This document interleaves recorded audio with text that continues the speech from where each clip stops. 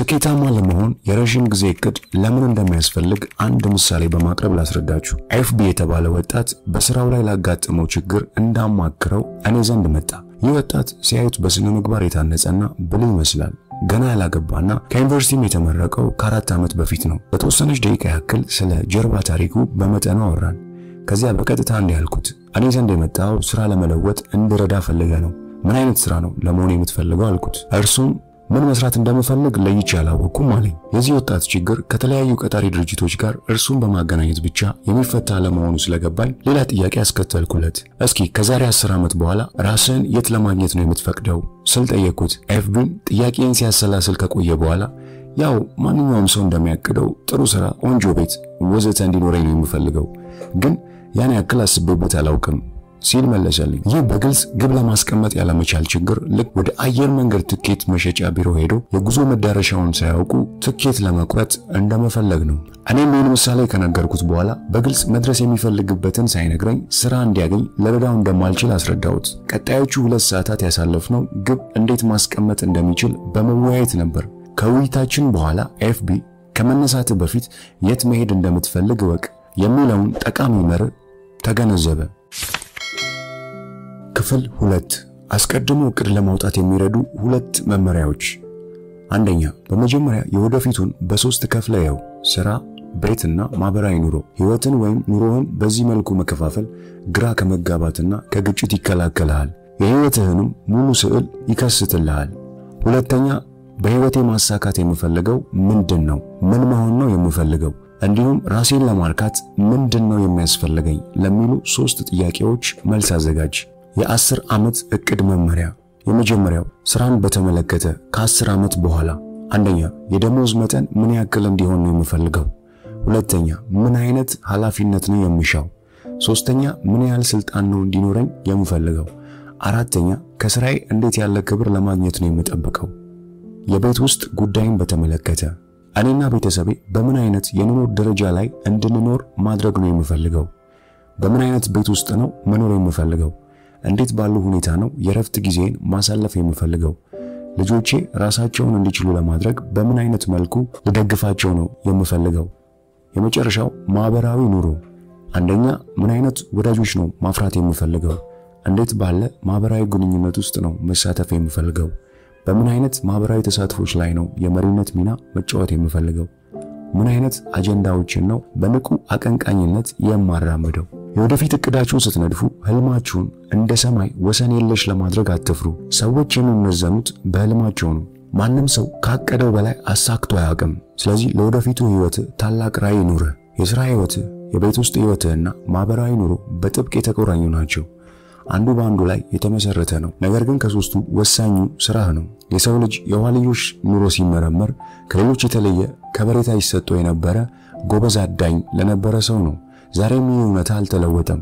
የቤተሰባችን የኑሮ ሁኔታና የሚሰጠን ማህበራዊ ክብር በአመዛኙ የሚወሰነው በስራችን ባለን ስኬታማነት ነው። ይህንን አስመልክቶ በቅርቡ በተደረገ አንድ ጥናት መሰረት ጥሩ መሪ ለመሆን ወደፊት ልቆ ለመገኘት መሻትና ማለምን ይጠይቃል የሚል ነበር። የተገራ መሻት ኃይል ነው።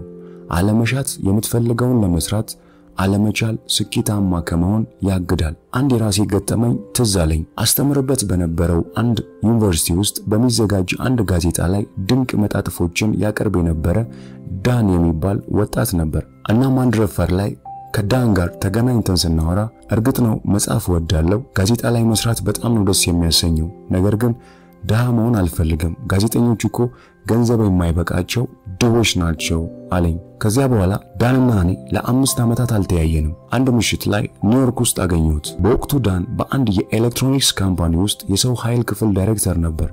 እናም ከአምስት ዓመት በፊት የተነጋገርነውን ለማስታወስና አሁን ያለበትን ሁኔታ ለመንገር እርሱ ነው የቀደመው።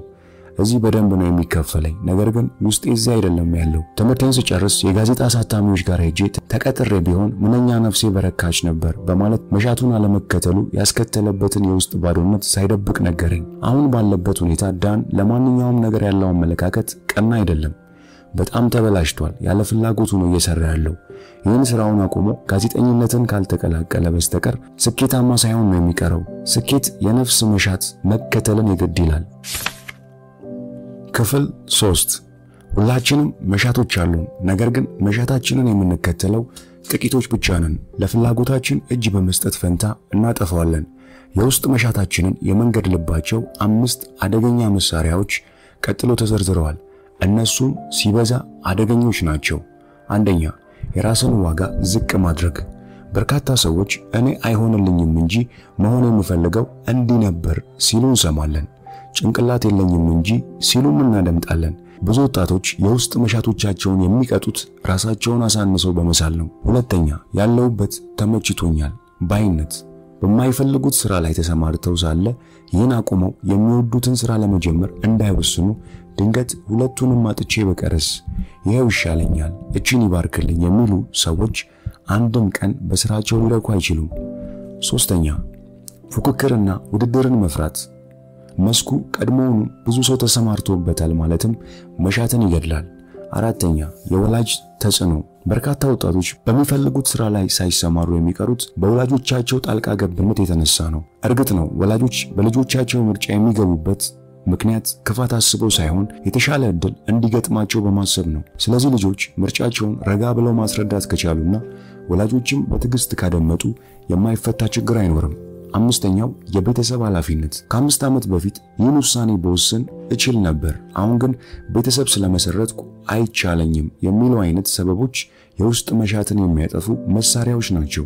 እነዚህን የግድያ መሳሪያዎች ከአንተ ዘንድ አርቀ ወርውራቸው። በሙሉ አቅም በመስራት ውጤታማ መሆን የምትችለው የምትፈልገውን ስትሰራ ብቻ መሆኑን አስታውስ።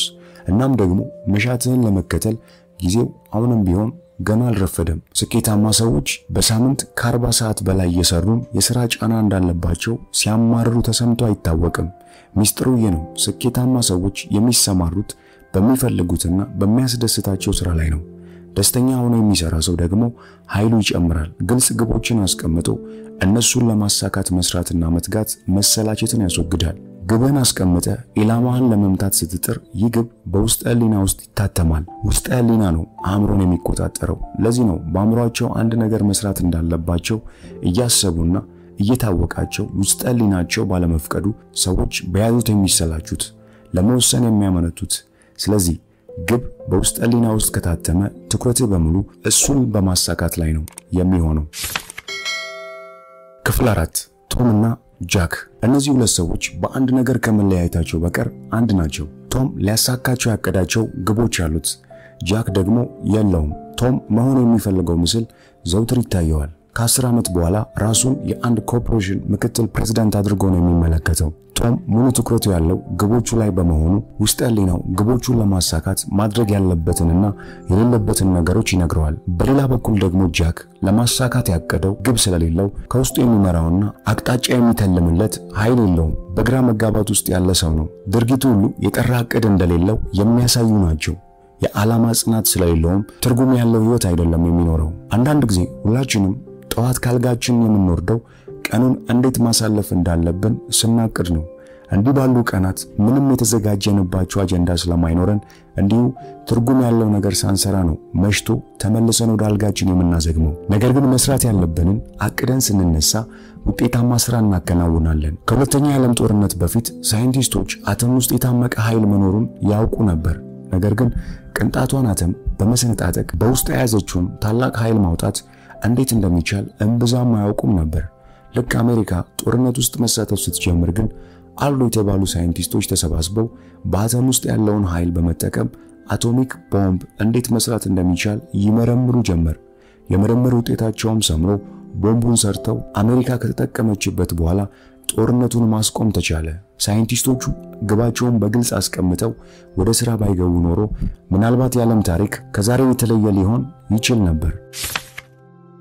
ክፍል አምስት በሰላሳ ቀናት ውስጥ ለመሻሻል የሚረዳ መመሪያ። አንድ ደራሲ መጽሐፍ ሲያዘጋጅ ሁሉንም ምዕራፎች በአንዴ ሳይሆን በየምዕራፍ እየከፋፈለ ነው ጽፎ የሚጨርሰው። ማንኛውንም ዓላማ ለማሳካት ይህ ደረጃ በደረጃ ዘዴ ነው ተመራጩ። ሲጋራ ማጨስ ለማቆም በአንድ ጊዜ ከመሞከር ይልቅ ቀስ በቀስ እየቀነሱ በመጨረሻም ከማቆም ደረጃ ላይ መድረሱ ነው ውጤታማ ዘዴ። በሰላሳ ቀናት ውስጥ ለመሻሻል የሚረዳ መመሪያ። እነዚህን ልማዶች ማስወገድ፣ አንደኛ ያልታረሙ ቃላትን አነጋገር፣ ሁለተኛ ከ60 ደቂቃ በላይ social media ወይም ቲቪ የመመልከት ሱስን ማቆም።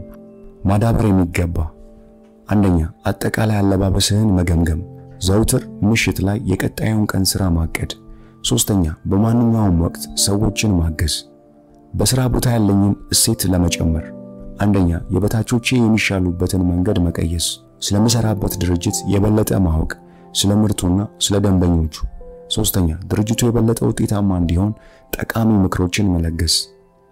ቤተሰብን በተመለከተ አንደኛ ባለቤቴ ለኔ ብላ የምታደርገውን ማንኛውንም ትልቅም ይሁን ትንሽ ነገር ማድነቅ። ሁለተኛ ቢያንስ በሳምንት ለአንድ ጊዜ ከቤተሰቤ ጋር አንድ የተለየ ነገር ማከናወን። በየዕለቱ ቢያንስ ቢያንስ ምንም ያልተሸራረፈ አንድ ሰዓት ከልጆቼ ጋር ማሳለፍ። አእምሮዬን በሚከተሉት መሞረድ። አንደኛ በተሰማራሁበት ሙያ ላይ የሚያተኩሩ መጽሐፎችን ለሁለት ሰዓት ማንበብ። አንድ ራስን የሚያነቃቃ መጽሐፍ ማንበብ። አራት አዳዲስ ወዳጆችን ማፍራት። አራተኛ በየዕለቱ ለ30 ደቂቃዎች በጽሞና ማሳለፍ። ከእንግዲህ በኋላ በጣም ስኬታማ አስተሳሰብ፣ ድንቅ የሆነና አለባበሱ እንዲሁም አጠቃላይ ሁኔታው የሚስብ ሰው ስትመለከት ይህ ሰው እንዲህ ሆኖ አለመወለዱን አስታውስ። ቀን በቀን ባላሰለሰ ጥረት ነው እዚህ ደረጃ የደረሰው። አሮጌዎቹን አሉታዊ ልማዶች አሽቀንጥሮ በመጣል አዳዲስ መልካም ሐሳቦችን ማዳበር የዕለት ተዕለት ሂደት ነው። ብዙ ጊዜ ግቦችን ስለማስቀመጥ ከሰዎች ጋር ስወያይ የማገኘው ምላሽ ትክክል ነህ፣ ግብ አስቀምጦ መንቀሳቀስ ጥቅሙ የጎላ ነው፣ ነገር ግን ከዚህ የሚያደናቅፈኝ ነገር መፈጠሩ አይቀርም የሚል ነው። አዎ ከአንተ ቁጥጥር ውጭ የሆኑ ነገሮች መፈጠራቸው አይቀርም፣ ነገር ግን ይህ አንተን ከግብ ሊያደናቅፍ አይገባም። ለምሳሌ ከቤት ወጥተህ ወደ አንድ ቦታ ለመሄድ ስትፈልግ መንገዱ ዝግ ነው የሚል ምልክት ቢያጋጥም መንገዱ እስኪከፈትልህ ድረስ እዚያው ታድራለህ? በጭራሽ። ሌላ መንገድ ፈልገህ ወደ አሰብክበት ትጓዛለህ እንጂ። ክፍል ስድስት ዘለቄታ ያለው ጥቅም የሚያስገኙ ሁለት የኢንቨስትመንት አማራጮች። አንደኛ ትምህርት ላይ ኢንቨስት ማድረግ። ለራስን ማድረግ ከምትችላቸው ነገሮች ሁሉ እጅግ የላቀው መማር ነው። ነገር ግን ትምህርት ስንል ምን እያልን ማለታችን እንደሆነ ግልጽ እናድርግ። አንዳንድ ሰዎች ትምህርትን የሚመዝኑት በዲግሪና በዲፕሎማ ብቻ ነው። ነገር ግን ይህ ብቃት ያለው ሰው ለመፍጠር አያስችልም። ይህንን አመለካከት በመጻረር የጄኔራል ኤሌክትሪክስ የቦርድ ሊቀመንበር ምናልባት ወረቀት ስራ ላይ ያስገኝ ይችል ይሆናል፣ ነገር ግን በተገኘው ስራ ላይ ሳይባረሩ ለመዝለቅ አስተማማኝ ዋስትና ብቃት ነው ብለዋል። ትክክለኛው ትምህርት አእምሮን ኮትኩቶ የሚያነጽ ነው። አንድ ሰው መማሩ የሚመዘነው በአስተሳሰቡ ነው።